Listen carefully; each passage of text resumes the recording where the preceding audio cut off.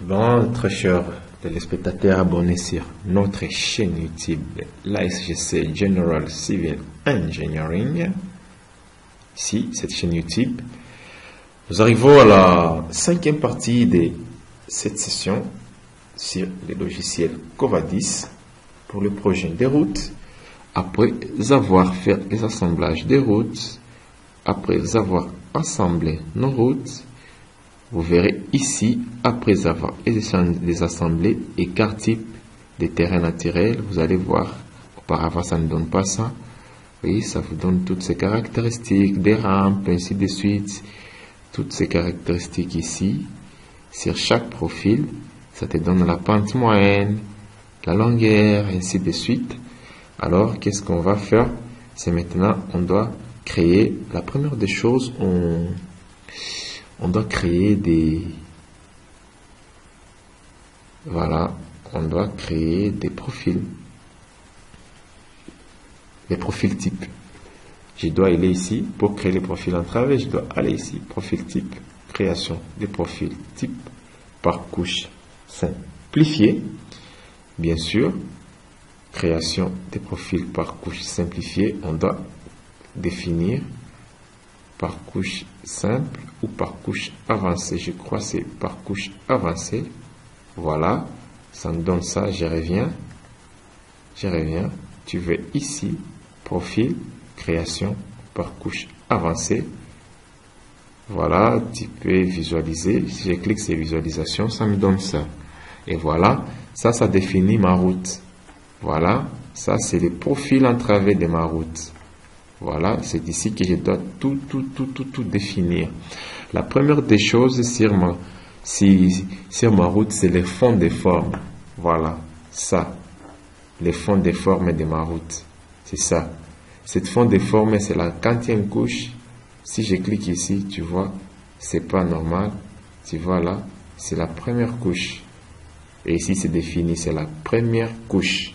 Comme c'est la première couche, alors je dois déterminer son épaisseur. Et toute la détermination de ces épaisseurs ainsi que de la route, ça dépend des études géotechniques que vous avez fait sur terrain par rapport au dimensionnement de la route, telle épaisseur, telle épaisseur, tout. Je vais vous montrer comment on dimensionne ça quand je vais vous parler de Alizé. LCPC, c'est le logiciel ici pour le dimensionnement des chaussées. Quand je vais vous parler de ce logiciel, c'est un bon logiciel conçu par le laboratoire central des points chaussés en France, qui vous permet de dimensionner les routes selon les méthodes que nous avions appris à la faculté, la méthode manuelle, mais le logiciel te permet de, dimensionner, tu vois ici les, épaisseurs des couches en fonction de la variation des modules, euh, des, contraintes, ainsi que des coefficients des, poissons et bien d'autres. On peut parler à long et à large après Covadis, je suis sûr ce sera toujours au cours de cette semaine. Vous aurez tout appris. Maintenant, ici, moi, je dois déterminer, j'arrête ça, ça, par défaut. Et la pente, je la laisse par défaut. Seulement, c'est qu'ici, je dois déterminer les matériaux. Ici, quel matériau sera constitué ma couche de forme? Ma couche de forme sera constituée par quel matériau? Ici, tu vois, les, tous les matériaux sont répertoriés ici. Et vous verrez pour ce qui est des choix des matériaux pour la route, si vous, avez l'habitude de lire des livres sur la route, tout c'est déterminé sur les bétons bituminés, les bétons des crafts bituminés, tout, tout, tout, tout, tout, tout, ainsi de suite. Mais pour ma couche de forme, moi je vais utiliser juste pas de la terre, oui, de la terre végétale, bien sûr, je dois utiliser soit de l'argile. Alors moi je une terre végétale, voilà, pour ma couche de forme, je vais mettre une terre végétale. Après, après ma couche de forme, je dois aller sur le corps de la chaussée. Voilà. Le corps de la chaussée. Ma chaussée sera constituée par combien de couches? Le corps de la chaussée. Parce que vous savez très bien que la, route est constituée d'une affaire de trois couches. Eh bien, comme je le disais tantôt, la route, selon le cours de notre professeur Yambel Emmanuel qui nous avait dispensé le cours de route en G3, La route, voilà, c'est comme ça, les différentes couches de la route. La route, elle est constituée par un seul support, couche de forme, cette couche de forme ici qu'on vient de déterminer, couche fond de forme, ça, couche de forme. Nous avons les couches d'assises. La couche d'assises, les couches d'assises est constituée par la couche de fondation et la couche de base. Et pour ce qui est du corps des chaussées, le corps des chaussées est constitué par la couche de liaison et la couche de roulement. Donc, ou couche de surface. Nous avons sol support, couche de forme, couche d'assise et couche de surface. Voilà, maintenant, on arrive ici. Ici, pour ce qui est des corps des chaussées, les corps de notre chaussée, le corps de notre chaussée sera constitué par combien de couches? Le corps de notre chaussée, c'est le corps de notre chaussée est constitué par une couche, bien sûr, une couche. Voilà, cette couche-là. Donc, la couche de surface, cette couche de surface ici, qui sera en béton bituminé. Je dois déterminer quel matériau sera fait notre couche de surface. Et ça sera, ça sera, des chaussées, ça sera béton bituminé, le béton bituminé pour notre chaussée. Donc le béton bituminé, béton bituminé pour les chaussées ou le béton bituminé. Voilà, je mets le bitume. Et là, ici,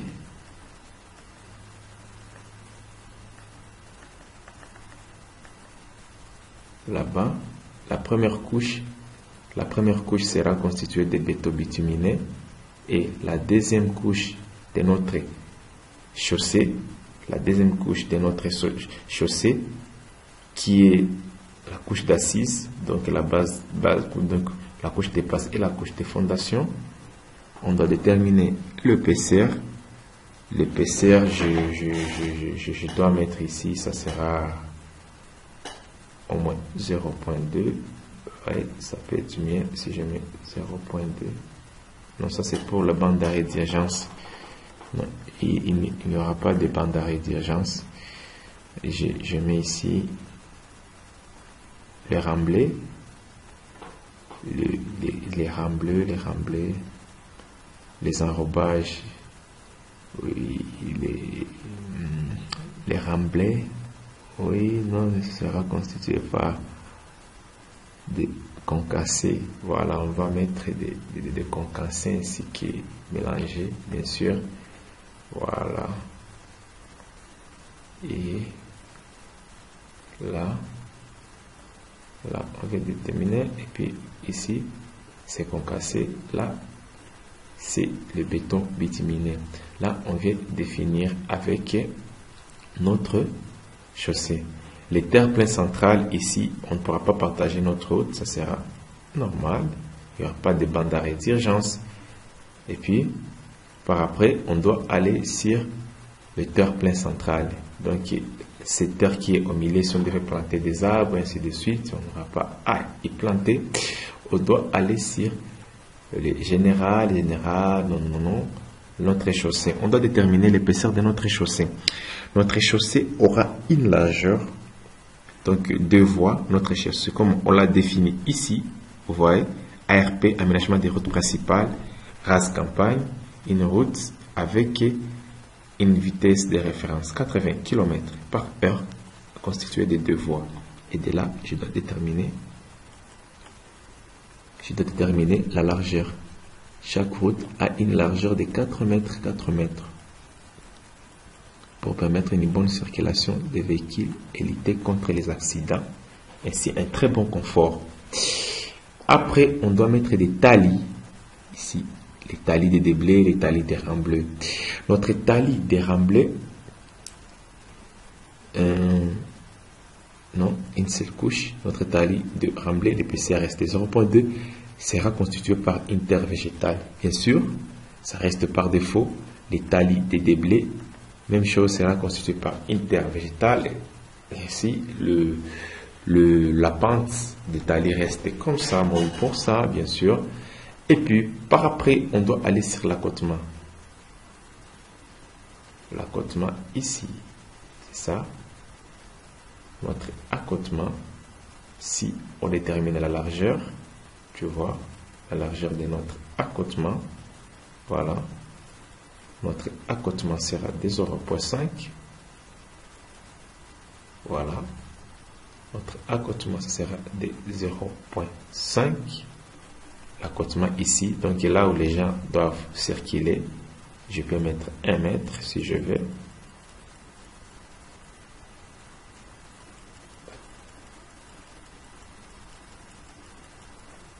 Je mets 1 mètre. Ici, l'accotement ici, là où les, gens doivent se promener. Et quel, quel matériau sera là-bas? Je dois mettre des, des pas de gravier, mais je dois mettre des pavés. Je dois mettre des pavés. Voilà, ça sera des pavés. Notre accotement sera constitué par des pavés. Je crois que ça n'est fini pour la visualisation, couche de forme, corde chaussée, bien sûr, des cordes de notre chaussée. Et puis, par après, je clique ici, fermer. Voulez-vous sauvegarder des profils avec fossé Bien sûr. Oui, les paramétrages détaillés des blés remblés différents. Ne faut pas tenir compte de ça. Voilà. C'est créé déjà. Après avoir créé ça, qu'est-ce qu'on doit faire? On doit déterminer nom des vers. Donc, on doit déterminer nom des vers ici. On doit déterminer les deux vers euh, et le décapage. Pour déterminer les deux vers, on doit se rendre ici, sur cet ouvrage ici. Conception géométrique des routes selon la norme CETRA ici. Cet ouvrage ici service d'étude conception géométrique selon la norme etc. Ou on peut utiliser aussi l'ARP, l'aménagement, mais on préfère, c'est la même chose, CETRA, parce que c'est CETRA qui est conçu cette norme-là, cette norme française pour des routes. Voilà, je mets 17, 17, ici 17, voilà, tracé en plan, les rayons minimales, tu vois, les rayons minimales qui assurent la stabilité des véhicules et des vitesses de référence lorsqu'il est associé au dévers maximal, généralement 7%, les rayons non déversés. Ceci nous donne la valeur des rayons suivant les couples des vitesses des dévers. En fait, notre route est de 80 km. Donc, il est compris entre 70 et 90. Et c'est pour cela, pour ce route, notre dévers est de 2 points notre dévers est de 2 points. Voilà, notre dévers est de 2,5%. C'est ce que nous, on doit pouvoir prendre. Notre dévers, tu, tu vois ici en grand, ce sont des rayons de confort. Tu vois, quand j'ai commencé la conception de la route, je vous ai dit, lorsque vous êtes en train de faire les tracés des profils ici, lorsque je ferai les raccordements paraboliques, il faut respecter ça en fonction de votre vitesse. Tu vois, 286, 242, 209, tu vois, je n'ai pas, mon plus grand rayon a été de 200 mètres. Tu vois ici, mon plus grand rayon a été de 200 mètres pour ce qui est des raccordements paraboliques ici. Donc, j'ai respecté cette norme ici. Je ne devrais pas, aller au-delà de 200. Donc, de 70 à 90. Donc, je vais utiliser ces rayons ici. Alors, je, dois prendre le dévers de 2.5 et aller ici, je dois créer le dévers, le dévers, bien sûr, affectation variable automatique, voilà, euh, non, je, mets les, affectations variables, oui, voilà, tu vois, c'est par défaut. Donc, il y a la norme déjà par, en fonction des, des, en fonction des, des choix, des types de routes que je vais utiliser, déjà c'est défini dans le logiciel, c'est 2,5%. Je calcule, bien sûr, validité. OK, calculé, c'est déjà calculé. OK, mon dévers est de 2,5%. Si vous voyez très bien, le dévers ici, affectation variable, tu vois, les dévers à gauche, les dévers à droite, parce qu'une route ne peut pas être plate, il faut toujours un dévers pour permettre d'évacuer les ondes des chaussées vers les kinettes, ainsi de suite. Après, qu'est-ce que je dois faire? Après, je dois faire le décapage. Constat, oui, mon décapage, oui, ok, j'ai créé, j'ai créé des décapages. Tout ça, ce qui va me permettre de créer des maîtres. Ainsi de suite. Qu'est-ce que je dois faire maintenant? Je dois faire des profils types. Les profils types. Pour ce qui est des profils types, pour ce qui est des profils types, pour ce qui est des profils types, je dois aller ici. Je dois faire tout ce que j'ai fait de créer. J'ai fait la création. Je vais maintenant faire l'affectation. Je dois affecter mes profils. Tu vois, tous ces profils, je dois les sélectionner. Tous ces profils auront des, des fossés. Donc, ils auront des caniveaux. Donc, je vais ici, profil, affectation, je vais là-bas, tout sélectionner avec fossé. Avec fossé, bien sûr, je clique ici, affecter, à gauche et à droite, affecter, je clique sur OK. En cliquant sur OK, je vais sur profil, déjà affectation, déjà, j'ai déjà affecté le profil, Ici maintenant, on peut faire la mise à jour de ce que j'aurais besoin, mais ça, je vais vous parler à la dernière. Euh, bien sûr, non. Je vais voir. Ok, je dois pouvoir en parler pour que la vidéo ne puisse pas être longue. Je vais ici parce que c'est la mise à jour qui va nous permettre d'avoir des kibatures. Tu vois ici, c'est rien jusque là. On a seulement défini les décapages, les dévers, tout ça. Mais pour faire les quantitatifs, comme je l'ai expliqué ici, sur cette route ici, les maîtres et bordereaux, alors il me faut aller ici, profil, mise à jour. Voilà, sur les projets, à quoi j'aurais besoin? Ligne des projets, bien sûr. Corps des chaussées, on a défini. Les bandes d'arrêt d'urgence, on n'a pas défini. Les sous-talis, autres couches, les décapages. Bien sûr, sur les lignes du projet, terre-plein central, on n'a pas défini ça. Le bord du chaussée, on n'a pas défini le bord du chaussée. Les bandes d'arrêt d'urgence, on n'a pas défini. Autres lignes, non. Mais les talis, nous les avons définis. Par rapport aux talis, pour ce qui est des talis, on doit créer des, des talis par Achir bien sûr, les talis par Achille, bien sûr, c'est défini.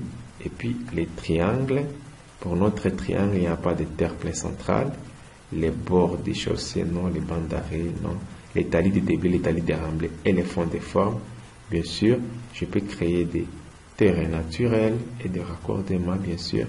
Les reprises des chaussées, oui, oui, oui. Ok, j'ai créé, bien sûr je vais définir la mise à jour. Voilà, c'est pas grave. Et si vous allez ici, vous voyez déjà les décapages et là, les remblais, les déblais, ça et là. Mais vous pouvez revenir ici et regarder déjà notre route, c'est déjà tracé. Voilà, notre chaussée, elle est là. C'est la ligne rouge. Vous pouvez tout modifier ici. Tu vois par exemple ça, je peux mettre une couleur que je vais je mets ça. Ouais. Je mets ça. Pour les talis, ce sont des talis. Ainsi de suite. Ainsi de suite. Ainsi de suite. Eh bien, ça, c'est le tracé en plan de notre projet. Voilà, vous voyez au milieu, c'est la route. Si on veut, on peut décalquer tout ce qu'on veut. Donc, ça dépend de ce que vous, avez besoin parce que tout est là-bas, la ligne rouge, ainsi de suite, et bien d'autres trucs sont là. Et eh bien, ici, voilà, vous voyez, je peux maintenant ajouter autre chose là-bas. Je peux ajouter, par exemple, je peux aller ici, je, je peux ajouter les je peux ajouter des courbes des niveaux. Attends. Attends, attends, oui, je, je crois, je, je peux ajouter la courbe des niveaux ici. Il faut seulement que je cherche où ils sont mis. Roadway, roadway. Voilà, c'est là. Je peux juste faire ça. Et les côtés. Ouais, ça est là-bas. La courbe des niveaux. Dans notre, dans notre projet, ça est là-bas. Ouais, voilà. Ça, c'est les courbes des niveaux de notre projet. Je peux décalquer et laisser ce que j'ai besoin. Mais en quelque sorte, c'est ça notre tracé de route. Après, qu'est-ce qu'il faut faire? Il faut faire le qui bâtir. Pour ce qui est de qui bâtir, je dois vous parler à la seconde, à la sixième partie qui est la dernière où on doit parler de qui bâtir et des créations des profils en travée. Merci et on se retrouve à une session, la dernière sur l'infrastructure routière avec Ovadis. À tout à l'heure à la sixième partie. Merci pour votre attention.